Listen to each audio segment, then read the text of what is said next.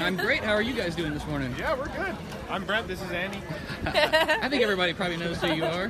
Hi, Annie. And there's Pat being Hi. incognito behind them. Shit. Sure.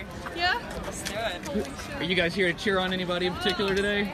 We're running a workout here at the Reebok booth for, uh, for the next couple, I don't know, An hour? an hour or something. Yeah. Yeah. Cheering on, yeah. We're just cheering on everyone in the top ten. I mean, you know, they worked hard to get there, and so it's, it's cool to see them get to throw down and live out the rest of their weekend.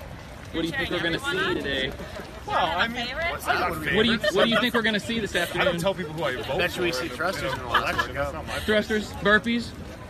Yeah, yeah, maybe. Definitely Probably. We haven't seen any box jumps, no machines. I'd love to see an I think our object, workout like is sandbags still or to something. Yeah. A lot of stuff that the teams have got their hands on that the individuals haven't, and I'd expect to see some of that crossover. Mm-hmm. So they did some odd object yesterday, and I'd be interested to see that stuff come over. I think that would be cool.